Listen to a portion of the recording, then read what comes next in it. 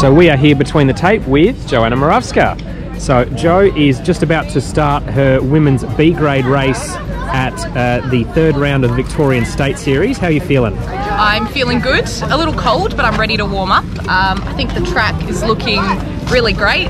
Um, obviously, a little bit worn down by the races before me, so I've got some ruts Yep. that I'll be able to use. Yeah. Um, and talk a little bit about what your prep has been for this race. Um, look, not much prep.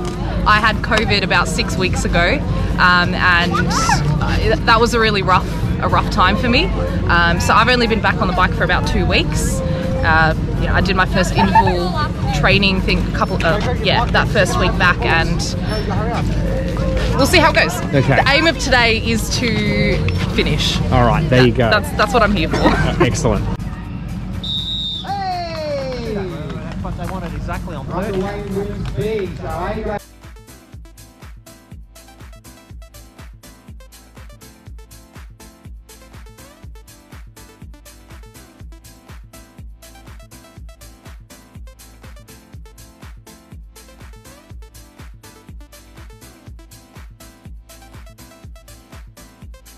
Marissa Stone. So our podium at the moment is Fiona Morris, Erin Mitchell, and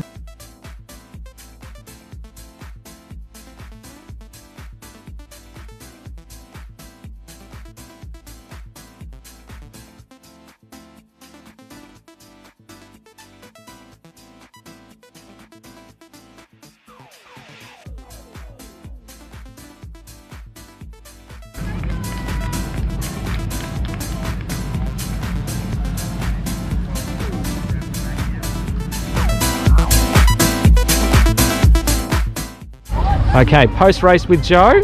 How was that? Talk us through your race. Uh, so it was really, really fun. Um, I had a pretty good start, um, I'd say. Um, but then I dropped back a little bit, which is fine.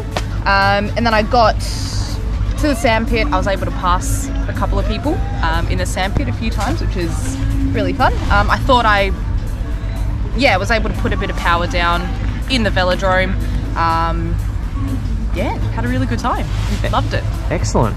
So, pretty happy with how you rode? Uh, I am. I am. It was a bit of a struggle to begin with, um, but I feel like I settled settled into a pace and uh, got got it done. Got it finished. Excellent. Well done.